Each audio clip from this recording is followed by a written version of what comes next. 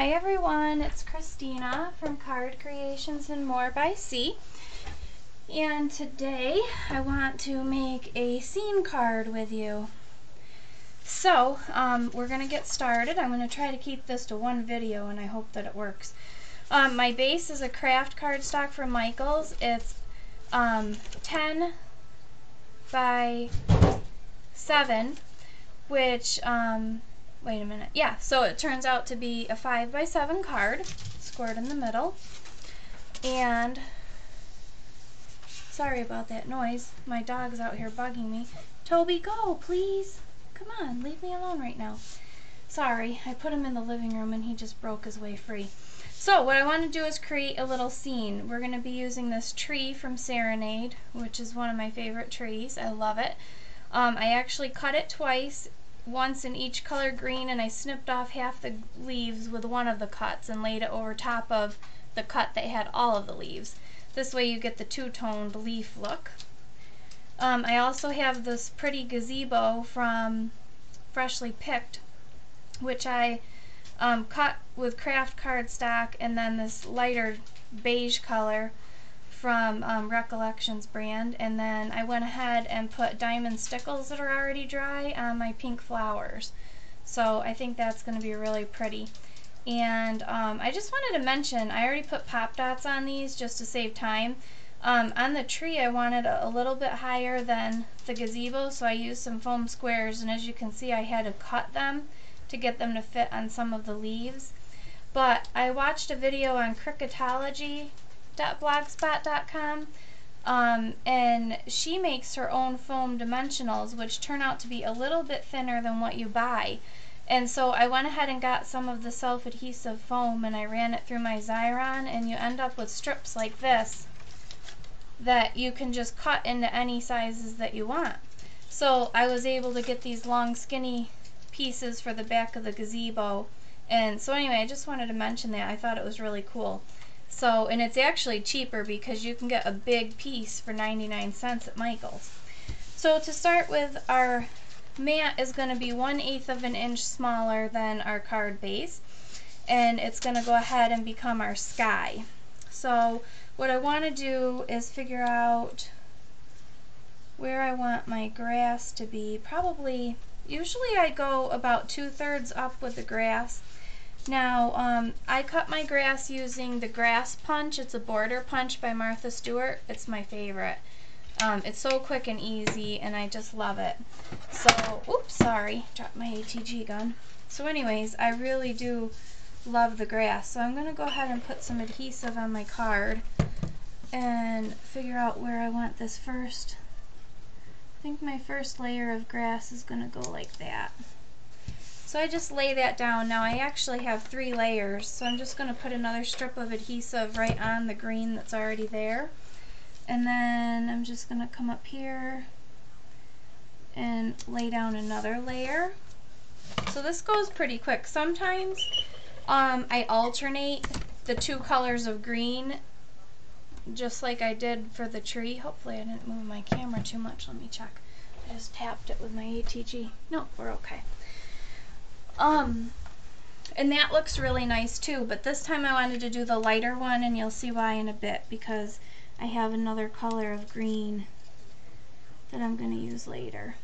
So um, actually since this is going to go all the way down I'm going to put a little strip on the blue layer too just to kind of hold it in place better. So we just want to line this up nice with the bottom of the card. Now I just like the dimension that it gives to do more than one layer, which is why I usually do three or four layers of grass.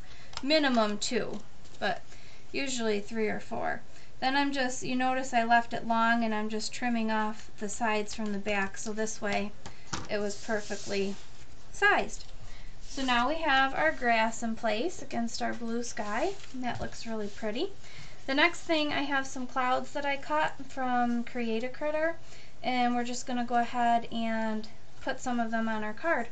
And what I like to do with the clouds, I'll usually pick a couple that I glue right to the actual, like the whole cloud down, and then I usually have some overhanging. And I'm just going to go ahead and use my zig. Um, I usually use my zig on pieces like this. I find that it's easier.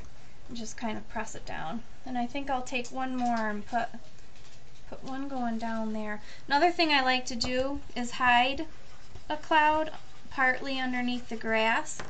I like the look that that can give too.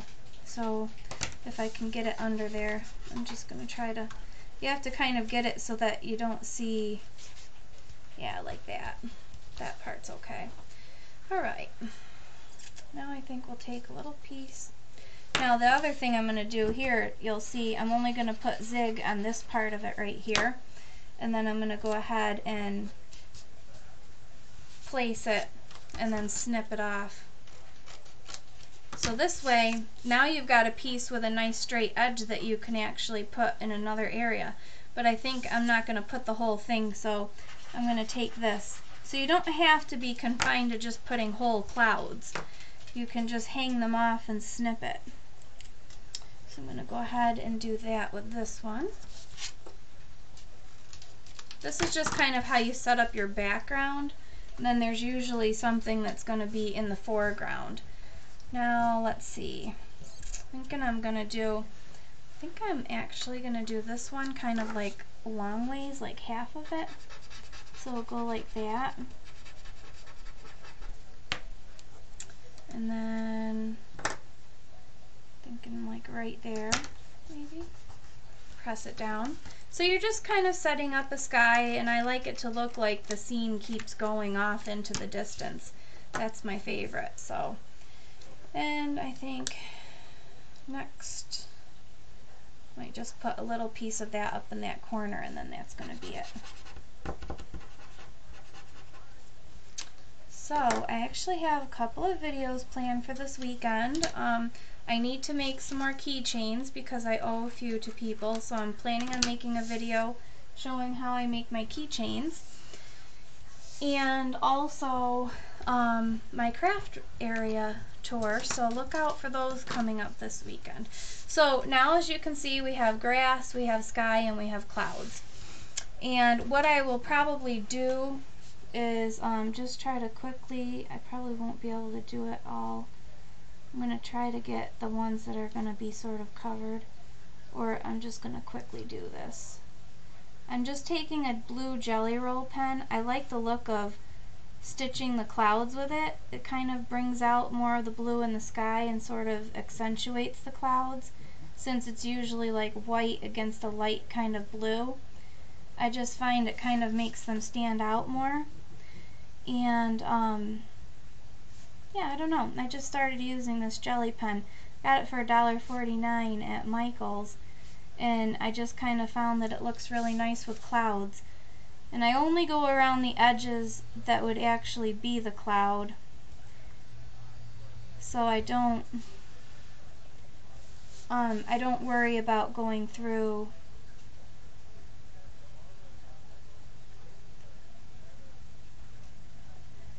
on the part that's against the edge of the card. Okay, so there we have it. Now the next thing we're going to do is we're going to, I think we're going to adhere our gazebo next. So I've got it all ready to go and I just want to figure out where I want it. Probably like that on this part of the card. So it's raised up just a little bit. It's wicked pretty and you can see the scene going on behind it. That's why I wanted to do all of my stitching on my clouds first. I can do that one at the end though um, because I am going to run out of time I'm afraid.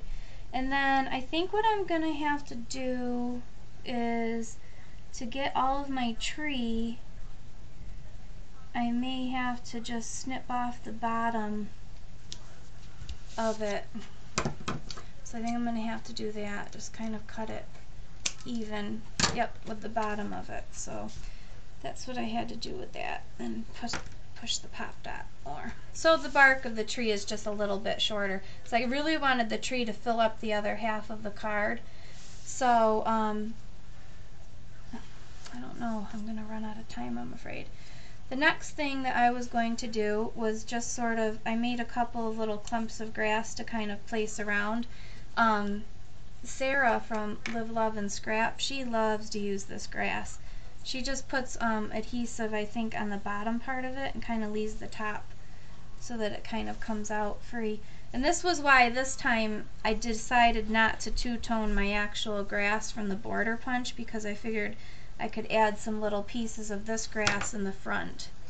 So we're just going to go ahead and do that quickly. And that turns out cute. Gives it a little bit more dimension and color. Um, I'm trying to think if I wanted to. Was thinking maybe I would even put one piece like. Hmm. Wonder if I should pop up a piece and put it there. Hmm. Maybe I will.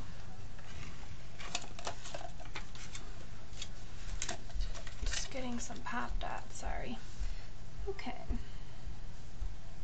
just to see if I can pop that piece up there in that corner so it goes over the gazebo. Need to make sure it's not seen though. I want my pop dot to be visible.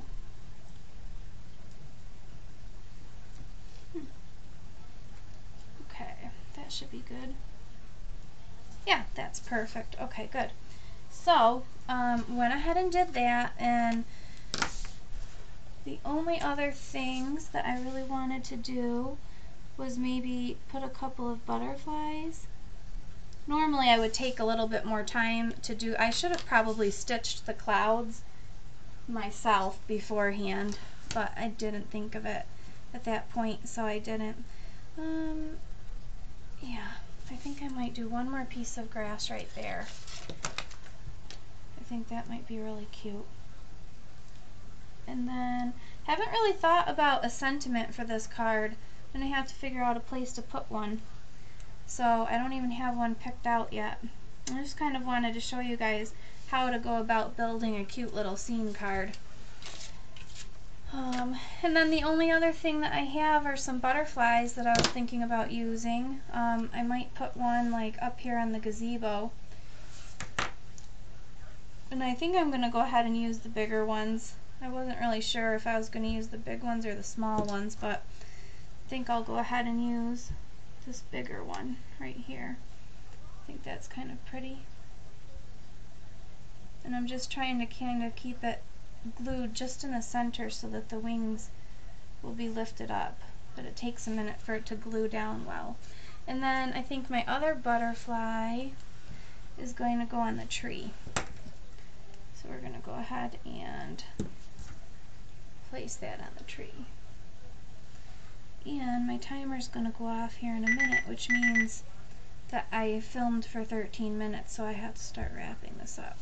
Sometimes it's amazing how fast 15 minutes can go because I don't have the skills to fast forward.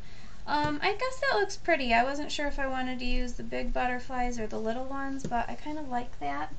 So very quickly, I was able to build a scene card. It's very pretty. And we're going to go ahead and apply it to our base.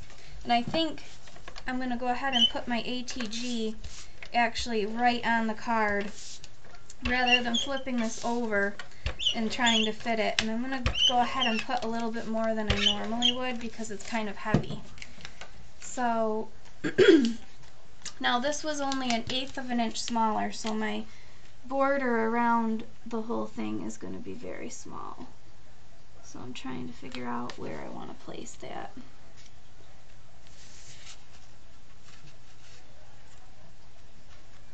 Pretty close. Pretty much just like that. So, the only other thing that I will probably do is put a piece of light blue paper on the inside and then a piece of white. So this way it kind of ties in the colors from the front and it makes the back of the card um, very sturdy just like the front is. So there is our simple scene card. You have a really pretty gazebo in a yard with a sky behind it and a tree, a couple of butterflies. Um, if I decide that those butterflies look too big, I might switch them out for little ones, which I have a feeling I'm going to. They just kind of look too big in proportion to the leaves on the tree, so yeah, I'm thinking I'm going to switch those, but um, I think it might make a big difference if I take it off and replace it with a small butterfly. Yep, that's what I'm going to do. So I'm going to take care of that off camera. But